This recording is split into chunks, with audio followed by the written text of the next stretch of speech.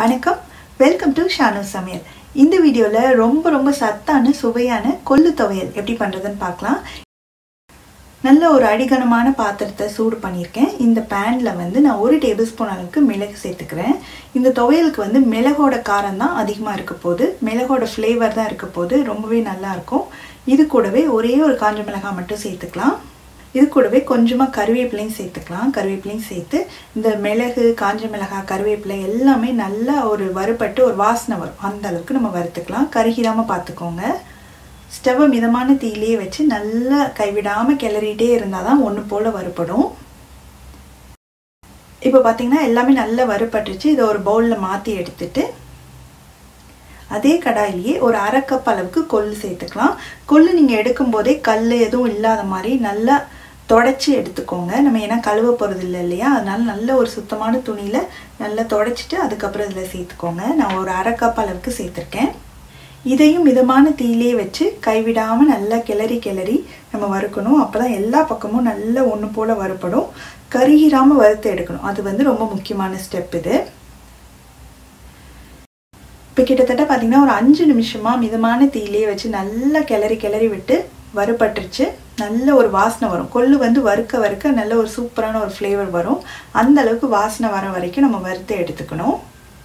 இதையும் நம்ம ஏற்கனவே மிளகு இதெல்லாம் வறுத்து வச்சுருந்தோம் இல்லையா? அந்த பவுல்லையே மாற்றிக்கலாம் இது நல்லா ஆற விட்டுணும்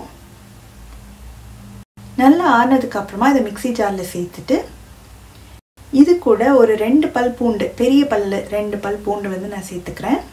அப்படி பூண்டு வேண்டாம் அப்படின்னு நினைக்கிறவங்க பெருங்காயத்தூள் சேர்த்துக்கோங்க. ஒரு கால் ஸ்பூன் அளவுக்கு பெருங்காயத்தூள் சேர்த்துக்கோங்க. இது கூடவே நம்ம எந்த கப்பில் கொள்ளு எடுத்தோமோ அதே கப்பில் ஒரு கப் அளவுக்கு தேங்காய் துருவல். ஸோ அரை கப் கொள்ளு எடுத்தோம். அந்த அரை கப்லேயே ஃபுல்லாக தேங்காய் துருவல் சேர்த்துருக்கேன். அப்புறமா இதுக்கு தேவையான அளவு உப்பையும் சேர்த்துட்டு தண்ணி எதுவும் சேர்க்காம ஃபஸ்ட்டு நல்லா ரெண்டு மூணு சுற்று சுற்றி எடுத்துகிட்டு வந்துடலாம். இப்போ பார்த்தீங்கன்னா நல்லா குறை குறைப்பாக அரைச்சாச்சு. நம்மளுக்கு துவையல் கன்சிஸ்டன்சியில் வேணுன்றதுனால நான் அரை கப்பில் பாதி அளவுக்கு தண்ணி சேர்க்குறேன் இப்போது தேவைப்பட்டுச்சுன்னா இன்னும் கொஞ்சம் தண்ணி சேர்த்து அரைச்சிக்கலாம். நம்ம நல்லா கெட்டியாக ரொம்ப நைஸாக பேஸ்ட்டாக இல்லாமல் லேஸ் குறை குறைப்பாக நம்ம வந்து அரைக்கணும். இப்போ பார்த்தீங்கன்னா அரைச்சாச்சு. நான் எக்ஸ்ட்ரா இன்னும் ஒரு அரை கப் கிட்ட தண்ணி சேர்த்து தான் அரைச்சிருக்கேன். ஏன்னா கொல்லுன்றதுனால நம்ம அரைக்க அரைக்க தண்ணி வந்து இழுத்துட்டே இருந்தது. அதனால இன்னும் கொஞ்சம் தண்ணி சேர்த்து இந்த பக்குவத்துக்கு நான் அரைச்சிருக்கேன். பார்த்தீங்கனாலே உங்களுக்கு தெரியும் குறை குறைப்பாக இருக்குது உங்களுக்கு நைஸாக வேணும்னாலும் அரைச்சிக்கலாம். பட் இந்த மாதிரி குறை குறைன்னு அரைக்கும் போது நல்லா இருக்கும் சாப்பிட்றதுக்கு.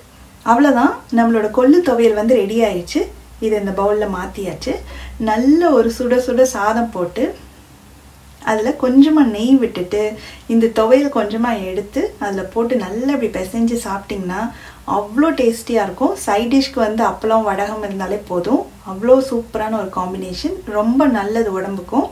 இந்த குளிர்காலத்தில் கொள்ளு வந்து சேர்த்துக்கிறது ரொம்பவே நல்லது.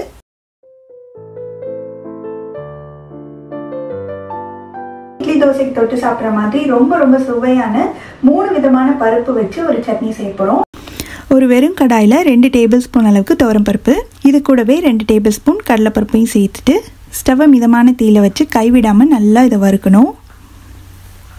இப்போ கொஞ்சம் நேரத்துலேயே பார்த்தீங்கன்னா இதோட கலர் லேசாக மாறி கொஞ்சம் வாசனையும் வர ஆரம்பிக்கும். இந்த ஸ்டேஜில் நம்ம ரெண்டு டேபிள் ஸ்பூன் அளவுக்கு பாசிப்பருப்பு சேர்த்துக்கணும். பாசிப்பருப்பு வந்து கடலைப்பருப்பும் துவரம்பருப்பும் பாதி வறுப்பட்ட உடனே சேர்த்திங்கன்னா தான் கரெக்டாக இருக்கும். முன்னாடியே சேர்த்துட்டிங்கன்னா கருகி போயிடும் மற்ற பருப்பு வறுபடுறதுக்குள்ளே பாசிப்பருப்பு வந்து சீக்கிரமாக கருகிரும். அதனால் பாதி வறுபட்டதுக்கப்புறம் சேர்த்துக்கோங்க.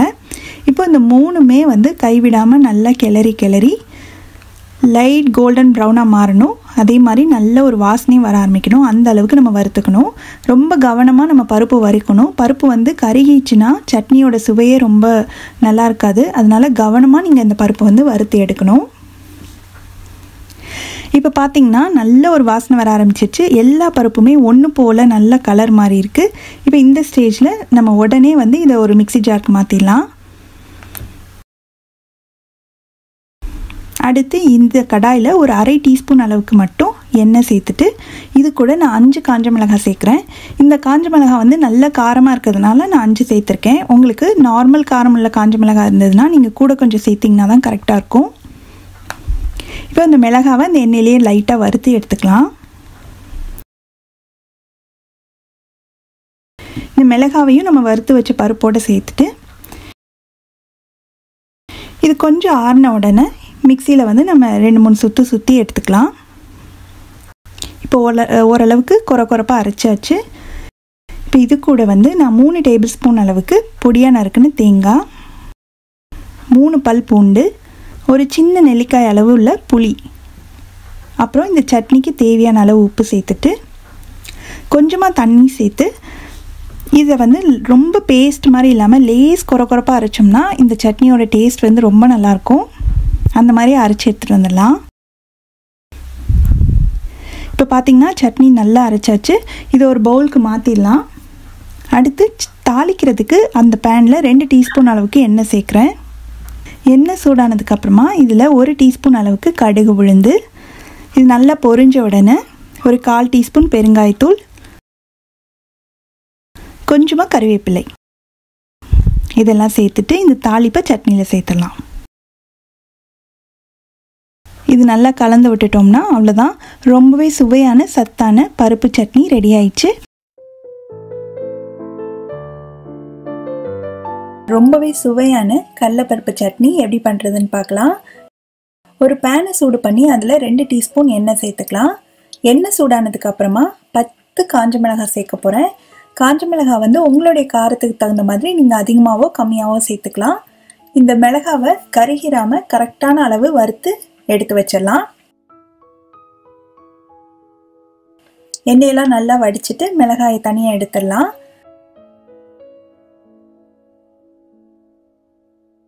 அதே எண்ணெயிலேயே மூணு டேபிள் ஸ்பூன் அளவுக்கு கடலைப்பருப்பு சேர்த்து நல்லா வறுத்துக்கணும். கைவிடாமல் அந்த க பருப்பு எல்லாமே லைட் கோல்டன் ப்ரௌனாக மாறுற வரைக்கும் நம்ம வறுத்துட்டே இருக்கணும். இப்போ பார்த்தீங்கன்னா நல்லா கலர் மாறிடுச்சு. கருகிராமல் இருக்குது இந்த ஸ்டேஜில் எண்ணெயெல்லாம் நல்லா வடிச்சிட்டு இந்த பருப்பை வந்து வேற ஒரு பவுலுக்கு மாற்றி எடுத்து வச்சிடலாம்.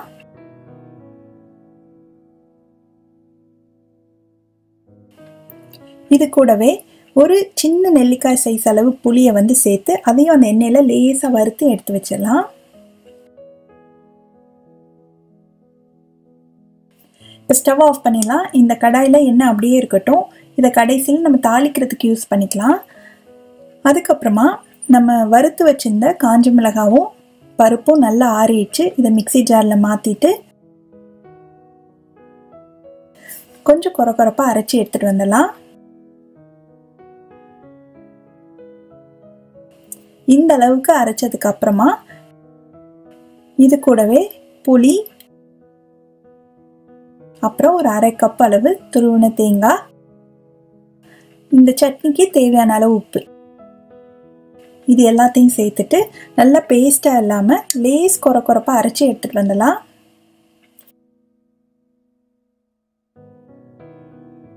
இந்த அளவுக்கு அரைச்சிக்கணும். இப்போ இதை ஒரு பவுலுக்கு மாற்றிட்டு மிக்சி ஜாரில் கொஞ்சமாக தண்ணி சேர்த்து அதையும் நல்லா கழுவி இந்த சட்னியோடு சேர்த்துடலாம்.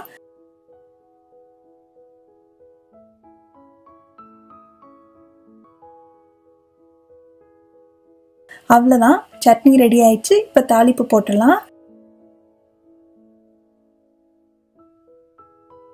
நம்ம ஏற்கனவே வச்சிருக்கிற எண்ணெயிலேயே மறுபடியும் அது நல்லா சூடு பண்ணிட்டு எண்ணெய் சூடானதும் அரை டீஸ்பூன் கடுகு அரை டீஸ்பூன் உளுந்து சேர்த்து இது நல்லா பொரிஞ்சு வந்ததுக்கு அப்புறமா கொஞ்சமாக கருவேப்பிலை ஒரு கால் டீஸ்பூன் அளவுக்கு பெருங்காயத்தூள் இதெல்லாம் சேர்த்துட்டு இந்த தாளிப்பை சட்னியில் சேர்த்துடலாம்.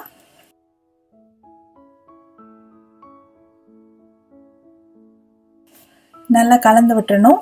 அவ்வளோதான் ரொம்ப ரொம்ப சுவையான ரொம்ப ஈஸியாக பண்ணக்கூடிய கடலைப்பருப்பு சட்னி ரெடி ஆயிடுச்சு.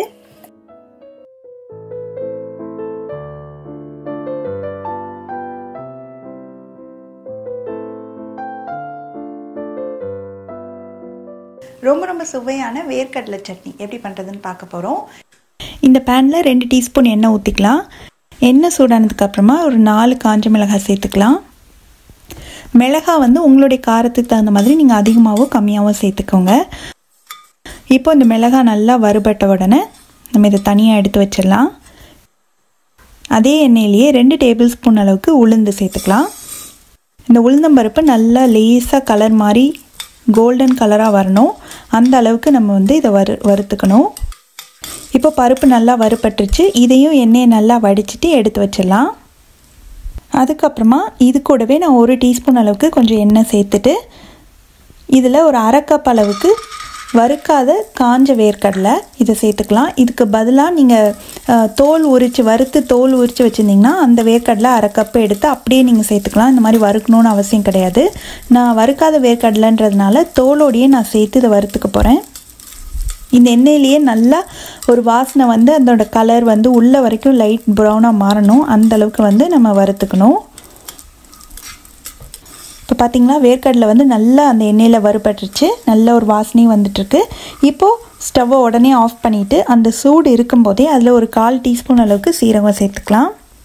இது லேசாக கலந்து விட்டுட்டு இது கொஞ்சம் ஆறுனதுக்கப்புறமா எண்ணெயெல்லாம் நல்லா வடிச்சிட்டு நம்ம இதை மிக்சி ஜாரில் மாற்றிடலாம் இது கூடவே ரெண்டு மீடியம் சைஸ் பூண்டை தோல் உரித்து சேர்த்துக்கோங்க. கொஞ்சமாக ஒரு நெல்லிக்காய் அளவில் பாதி அளவு புளி சேர்த்துட்டு இந்த சட்னிக்கு தேவையான அளவு உப்பு சேர்த்து கொஞ்சமாக தண்ணி சேர்த்து ரொம்ப பேஸ்ட் மாதிரி இல்லாமல் லேசாக குறை குறைப்பாக அரைச்சிங்கன்னா ரொம்ப நல்லாயிருக்கும் இப்போ சட்னி அரைச்சி இந்த பவுலுக்கு மாற்றிடலாம் அடுத்ததுக்கு தாளிப்பு போடுறதுக்கு நம்ம ஏற்கனவே வேர்க்கடலை எல்லாம் வருத்தோம் இல்லையா? அந்த எண்ணெய் மீதி இருக்குது அதுலேயே கூட கொஞ்சம் மட்டும் ஒரு டீஸ்பூன் எண்ணெய் ஊற்றிட்டு எண்ணெய் சூடானதுக்கப்புறமா அரை டீஸ்பூன் கடுகு. கடுகு நல்லா பொரிஞ்சு வந்ததும் ஒரு காஞ்ச மிளகாயை கிள்ளி போட்டு சேர்த்துக்கோங்க. கருவேப்பிலை இருந்ததுன்னா கொஞ்சம் சேர்த்துக்கோங்க. இது கூடவே கொஞ்சமாக பெருங்காயத்தூள் சேர்த்துட்டு இந்த தாளிப்பை சட்னியில் சேர்த்துடலாம். அவ்வளோதான் ரொம்ப வாசனையான ரொம்ப ரொம்ப சுவையான வேர்க்கடலை சட்னி ரெடி ஆயிடுச்சு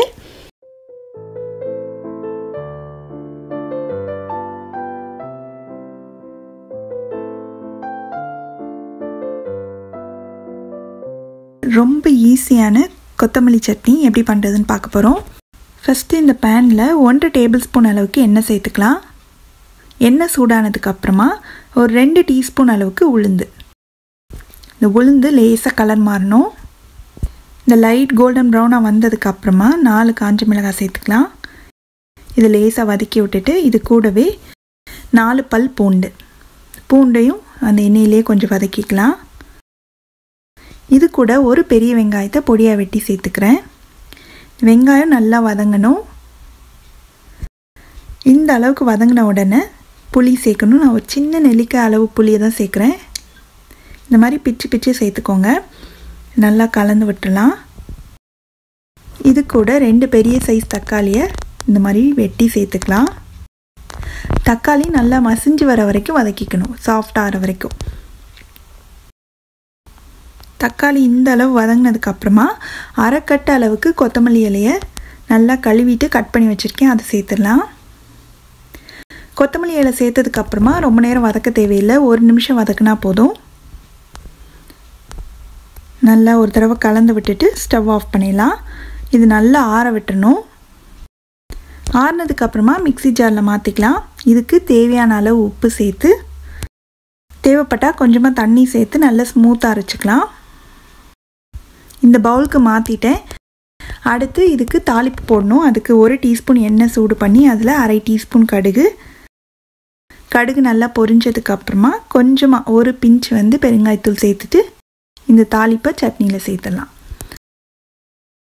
அவ்வளோதான் ரொம்ப ஈஸியாக பண்ணக்கூடியது. ஆனால் ரொம்பவே டேஸ்ட்டாக இருக்கும்.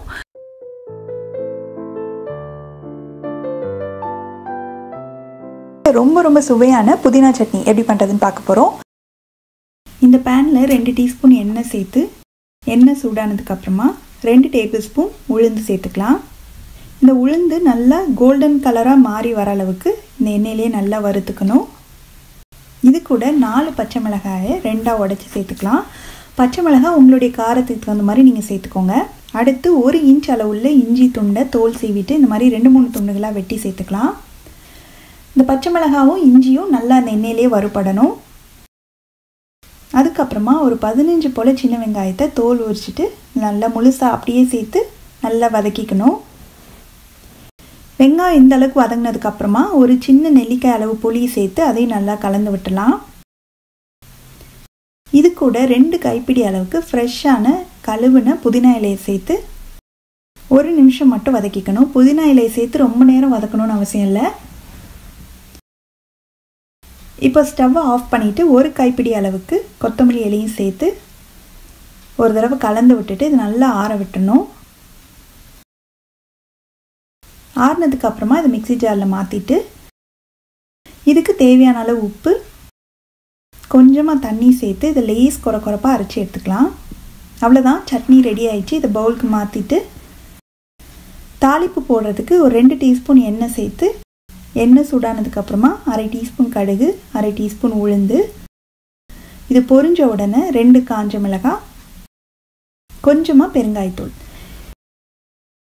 அவ்வளோதான் இந்த தாளிப்பை சட்னியில் சேர்த்து நல்லா கலந்து விட்டுலாம். ரொம்ப ரொம்ப சுவையான மணமான இட்லி தோசைக்கு ரொம்பவே பொருத்தமான புதினா சட்னி ரெடி ஆயிடுச்சு. நீங்களும் இந்த ரெசிபியை கண்டிப்பாக வீட்டில் ட்ரை பண்ணி பார்த்துட்டு எப்படி வந்ததுன்ற கமெண்ட்ஸை மறக்காமல் ஷேர் பண்ணுங்கள் தேங்க்ஸ் ஃபார் வாட்சிங்